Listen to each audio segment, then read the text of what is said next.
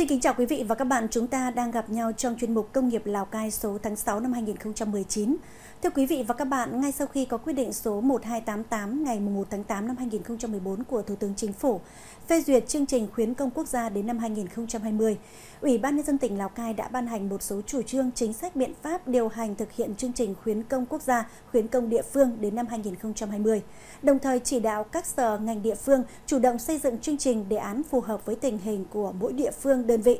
Mặc dù mới đi được hơn nửa chặng đường, song chương trình khuyến công quốc gia đã góp phần quan trọng trong việc gia tăng giá trị phát triển công nghiệp của tỉnh, đồng thời tạo công ăn việc làm cho nhiều lao động, thúc đẩy kinh tế xã hội khu vực nông thôn phát triển. Đây cũng chính là nội dung được chúng tôi đề cập trong chuyên mục kỳ này. Mời quý vị và các bạn cùng quan tâm theo dõi. Đây là nương chè của gia đình anh Nguyễn Đức Phúc ở xã Lương Sơn, huyện Bảo Yên. Những tấm biển chỉ dẫn khá rõ về việc sử dụng các loại phân bón, thuốc bảo vệ thực vật, lấy đó làm đối chứng giúp gia đình anh lựa chọn quy trình chăm sóc chè hiệu quả nhất. Ngoài gia đình anh Phúc còn có hàng ngàn hộ gia đình làm nghề trồng chè khác ở Bảo Yên cũng đang triển khai xây dựng các mô hình đối chứng như vậy. Với mục tiêu lựa chọn được quy trình chăm sóc nâng cao sản lượng chè, đáp ứng cho nhu cầu thu mua của công ty trách nhiệm hữu hạn chè Đại Hưng. Các hộ gia đình đã nỗ lực như vậy – Song đến thời điểm này, vùng chè của Bảo Yên vẫn chưa đáp ứng đủ nhu cầu chè nguyên liệu cho nhà máy chè Đại Hưng. Hay nói cách khác là bà con nông dân trên địa bàn vẫn còn rất nhiều cơ hội để phát triển kinh tế từ nghề trồng chè. Để có được kết quả ấy, bên cạnh sự chủ động của công ty trách nhiệm hữu hạn chè Đại Hưng trong việc xúc tiến tìm kiếm thị trường tiêu thụ sản phẩm, còn có vai trò đóng góp hết sức quan trọng từ nguồn vốn khuyến công. Đối với doanh nghiệp thì cái nguồn vốn khuyến công tuy rằng không phải là số tiền nhiều, nhưng lại nó rút giúp ích cho vấn đề là doanh nghiệp và bà con nông dân tạo đà phát triển. Nhất là đối với bà con à, nông dân thì khuyến công thì hướng dẫn ờ, là bà con từ khâu ờ, trồng, chăm sóc và chế biến ờ, nghĩa là thu hái về đem về đảm bảo cho nhà máy là cái an toàn về cái chè để sản xuất chè ô long. Thứ hai là hỗ trợ cho doanh nghiệp về cái vấn đề máy móc thiết bị tuy rằng là chúng tôi mua sắm ờ, máy móc thiết bị là số lượng là 3 đến 4 tỷ nhưng nhà nước hỗ trợ một vài trăm triệu thì là đấy cũng là cái nguồn động viên để cho doanh nghiệp phát triển mạnh hơn với chúng tôi đầu tư một cái máy móc là nó chưa đạt được tiêu chuẩn thì có nguồn khuyến công thì chúng tôi sẽ mạnh dạn đầu tư thêm một chút tiền nữa để làm sao để máy móc hoàn thiện. Còn đây là dây chuyền xay sắt gạo của hợp tác xã Tiên Phong, Mường Vi, huyện Bát Sát. Ngoài ưu điểm là tự động loại bỏ các hạt gạo lỗi, hạt đen đầu, dây chuyền còn có khả năng phân loại hạt bằng máy tách công nghệ ánh sáng CCD camera màu. Cũng chính nhờ vậy mà sản phẩm gạo sánh cù của Hợp tác xã Tiên Phong ít có hạt gãy, hạt vỡ, đặc biệt là các hạt còn giữ được lớp vỏ cám giàu dinh dưỡng. Sau khi đã hoàn tất các công đoạn xay sát, khử khuẩn, loại bỏ tạp chất và hạt lỗi, Gạo nóng sẽ được chuyển lên tháp làm nguội để chiết vào bao rồi đưa vào hút chân không nhằm hạn chế tối đa sự tiếp xúc của hạt gạo trong bao với không khí. Bởi vậy, sự biến đổi chất lượng của từng hạt gạo gần như là không có. Công nghệ này giúp cho hợp tác xã không phải sử dụng đến các chất bảo quản mà vẫn giữ cho hạt gạo thơm ngon lâu dài. Hợp tác xã Tiên Phong Mường Vi đã đầu tư được dây chuyền xay sắt hiện đại như vậy – cũng có một phần đóng góp từ chương trình khuyến công quốc gia và khuyến công của địa phương. Được hỗ trợ như này là một cái niềm coi như động viên để các đơn vị chúng tôi coi như là à, nâng cấp cái máy móc và nâng cấp về cái sản xuất để đưa ra thị, ngoài thị trường những cái hạt gạo mà nó chuẩn chỉ nhất, sẽ nâng cấp cái hạt gạo cho nó ờ, bóng hơn và cái hạt gạo nó sẽ mịn hơn và thời hạn nó thì nó sẽ đảm bảo hơn rất là nhiều. Ngoài hai cơ sở sản xuất mà chúng tôi vừa nêu ở trên, trong giai đoạn 2014-2018, trên địa bàn tỉnh đã thực hiện được 147 đề án khuyến công với tổng kinh phí khoảng 16,5 tỷ đồng. Trong đó, khuyến công địa phương thực hiện 135 đề án với tổng kinh phí là 13,6 tỷ đồng, còn lại từ nguồn khuyến công quốc gia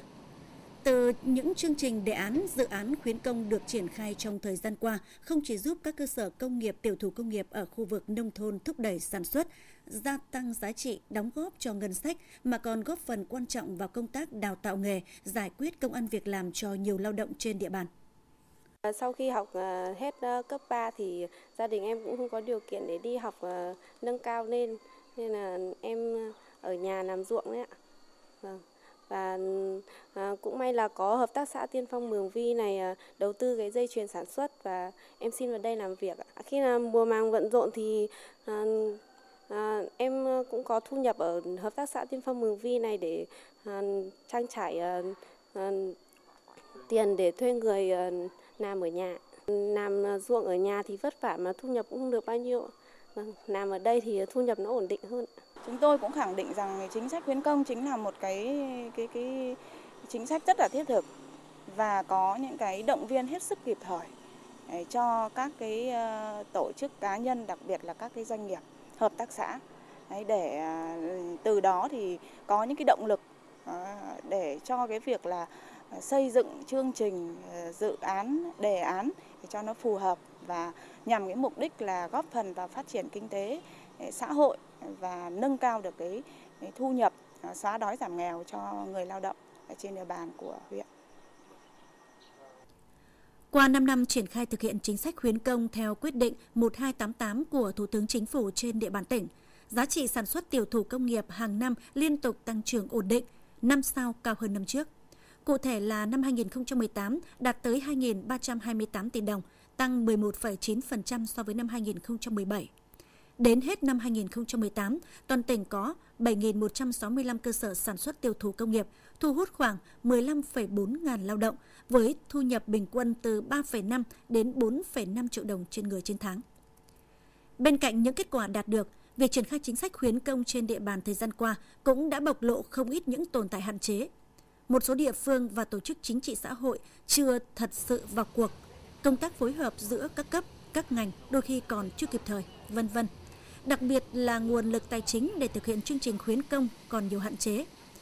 Mức hỗ trợ còn thấp, chưa gây được tác động mạnh mẽ đến đầu tư phát triển sản xuất trong khu vực công nghiệp nông thôn. Trong cái đề xuất của huyện cũng như là ờ, đề xuất với tỉnh thì có những cơ chế chính sách và tăng cái nguồn ờ, để giao cho sở công thương chủ trì thì có nghĩa là cũng nên tăng cái cái, cái, cái nguồn vốn lên để cho các cái tổ chức cá nhân để người ta có cái, cái uh, nhu cầu cũng như là cái cơ hội để tiếp cận. Chúng tôi cũng rất mong muốn là à, tập trung cái nguồn lực để cho cái cái cái cái cái nội dung về đào tạo nghề lao động nông thôn để tăng được cái số lượng đào tạo nghề à, cho người lao động qua đào tạo để đáp ứng được cái, cái nhu cầu cho cái phát triển kinh tế xã hội trên địa bàn của uh, tỉnh Lào Cai. Năm 2019 này, tỉnh Lào Cai đang dốc toàn lực để hoàn thành các mục tiêu phát triển kinh tế xã hội mà Đại hội Đảng bộ tỉnh khóa 15, nhiệm kỳ 2016-2020 đã đề ra. Theo đó, hoạt động sản xuất công nghiệp khu vực nông thôn cũng được kỳ vọng sẽ tăng trưởng khoảng 15% theo hướng tăng tỷ trọng chế biến sâu, có hàm lượng công nghệ cao nhằm gia tăng giá trị của các sản phẩm nông lâm sản. Cùng với chuyển dịch cơ cấu kinh tế, cơ cấu lao động ở khu vực nông thôn theo hướng công nghiệp hóa, hiện đại hóa, góp phần đưa tỷ trọng ngành công nghiệp đạt 35% trong cơ cấu kinh tế của tỉnh vào năm 2020. Những mục tiêu và hoạch định nêu trên cần có sự vào cuộc của cả hệ thống chính trị, sự nỗ lực và góp sức của tất cả các cấp, các ngành, trong đó có lĩnh vực khuyến công.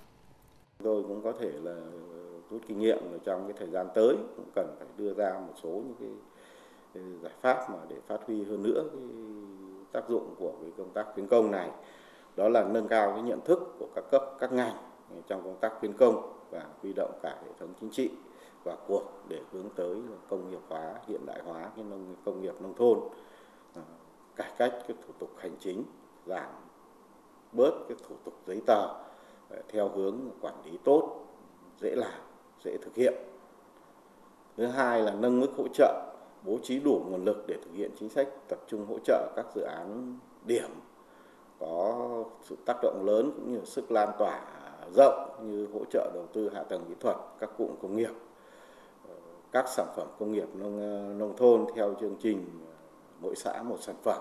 rồi chương trình ô cốp cũng như là những cái sản phẩm mà có thế mạnh của địa phương. Cùng với đẩy mạnh công tác tuyên truyền, giải quyết các khó khăn về nguồn lực, Tỉnh cũng cần tiếp tục quan tâm nâng cao trình độ chuyên môn cho cán bộ quản lý và cán bộ làm công tác khuyến công thông qua các chương trình đào tạo, bồi dưỡng và tập huấn nghiệp vụ. Đồng thời tăng cường đầu tư trang thiết bị, giúp trung tâm khuyến công và xúc tiến thương mại đủ điều kiện đáp ứng yêu cầu nhiệm vụ trong tình hình mới. Đến đây chúng tôi xin được khép lại chuyên mục công nghiệp Lào Cai kỳ này. Hẹn gặp lại quý vị và các bạn trong chuyên mục kỳ sau. Xin kính chào và hẹn gặp lại.